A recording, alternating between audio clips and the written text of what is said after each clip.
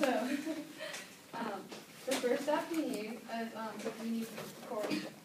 Well, let me tell you what you need first. Balloons, candy of course, glue, scissors, newspaper, and tissue paper.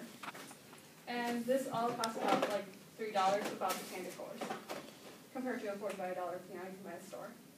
So first you're gonna blow up your balloon, depending how big you want it, maybe small for right now. And then after that, you're gonna cut tissue paper, I mean newspaper, into little strips. So, can you cut some? And you want them about like this thick. And then you're gonna pour some glue on like a container, something you're not gonna use again. And then um, you're gonna use your fingers, it's gonna get really sticky and messy. You're gonna spread it on the newspaper, and you wanna put it, um, first layer you want it like vertical, so you're gonna put on the piñata. And then you're gonna do like about six layers to make it really hard to break. And then you're gonna go um, horizontal, and it's gonna come out like a little cast like this on the piñata after like so many layers. Then you're gonna cut. Um, this will take about a day to um, finally come nice and hard. And after that, you can start the fun part, of decoration, which you can choose any color, like I chose blue, yellow, green, to make it really nice. And you're gonna then put tissue paper, you're gonna cut it into strips, can get all fancy.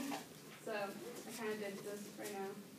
So I cut it into strips, and then the edge of the scissors, I just like curl the edges like that. Oops. And then you wanna start from the bottom to the top, because if you start from the top to the bottom, you're gonna see like all the edges, and it's gonna like not look really nice. So that's gonna take about like probably two to three minutes to be finally done. After you're done with that, you wanna cut a hole on the top, because of course you wanna put your candy in there.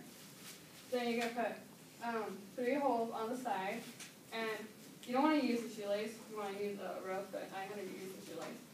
And then you're gonna put, um, the shoelace through the holes, so that way you can hang it like really nice.